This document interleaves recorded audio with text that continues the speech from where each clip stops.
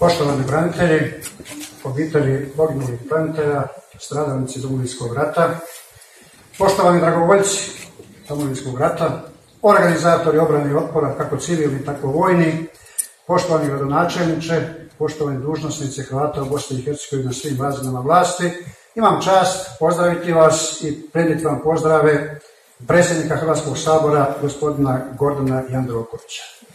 Iako je, dakle, moj prethodni govornik, veleposlanik Dalekio, prenio poruke predsjednika Hrvatske vlade Andreja Plenkovića, evo ja vam mogu prenijeti pozdrave, jer smo se družili u dva dana u Šibeniku, dakle na središnjem odboru HDZ-a sinoć i danas na zakladi Hrvatskog državnog zavjeta. Ono što smo čuli danas u odjeli gradonačelnika, dakle, po prvi put danas na ovako sveobuhvatan način svečan obilježavamo dakle, dan hrvatskih branitelja. Nadam se da će biti takvih objetnica još mnogo. Međutim, mnogo važnije je da je, da je široki brijeg bio prvi u obrani.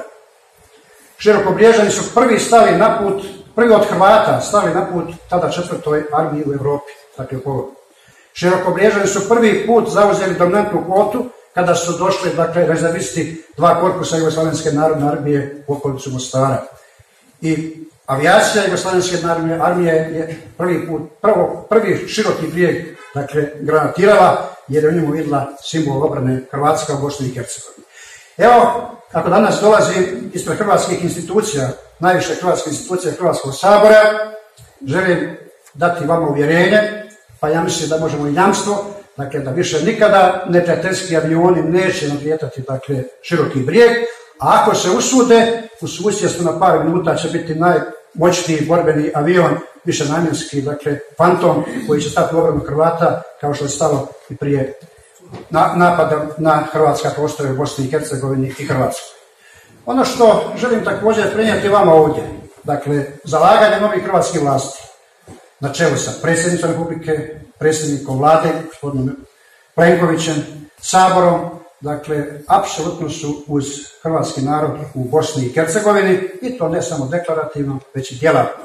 I na diplomatskom planu, dakle, kod svojih saveznika, NATO, Europskoj uniji, ali i na bilateralnom planu.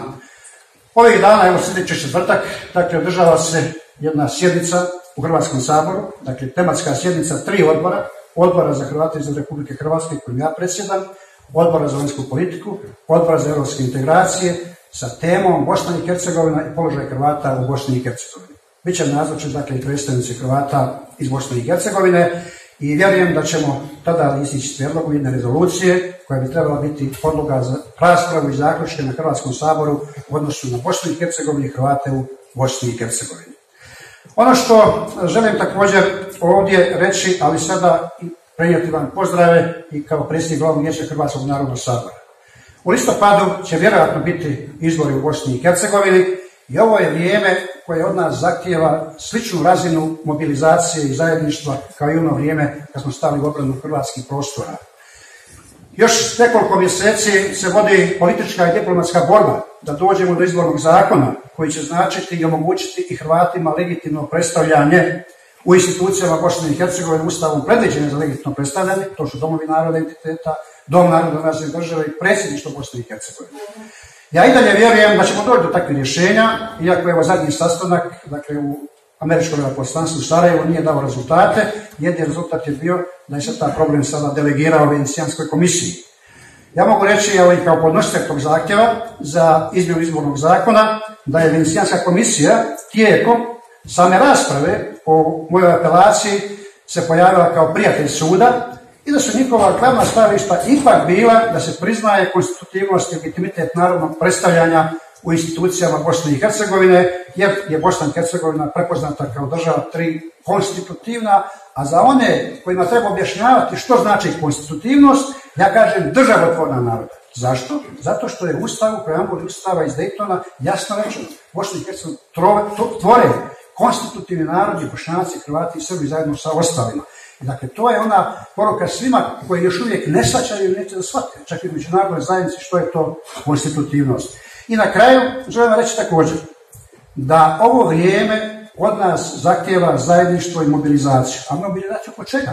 Oko koga? Oko onoga ko zastupa legitimne hrvatske interese Hrvata u Bosni i Hercegovini, a to je Hrvatski narodni sabor i stranke Hrvatskog narodnog sabora. I trebamo se svi okupiti oko kandidata predstavnika Hrvatskog narodnog sabora, kako za člana predsjedništva Bosne i Hercegovine, tako i za one najbitnije izaslanike i zastupnike, posebice u domovima naroda. Ono što mogu reći i prenijeti, dakle, naglaske sa sinošnjeg središnjeg odbora u HDZ-a u Šibeniku, Hrvatska je da u ovom momentu isto tako, dakle, značajno se mobilizirala oko pitanja ovih izbora u Bosni i Hercegovini, pa čak i u slučaju da ne dođe do izmjena izbornog zakona. Evidentirano je oko 170 tisuća Hrvata koji imaju pravo na dopisno glasovanje, što u Hrvatskoj, što u zemljama Europe. Dakle, neka se samo trećina toga mobilizira i neka pošalje svoje glasove. Ovdje ne govorimo za koga da glasuju.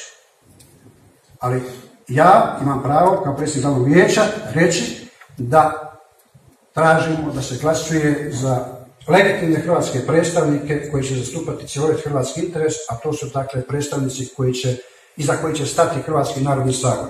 Prema tome, e, želim vam još jedan čestitati ovu obljetnicu.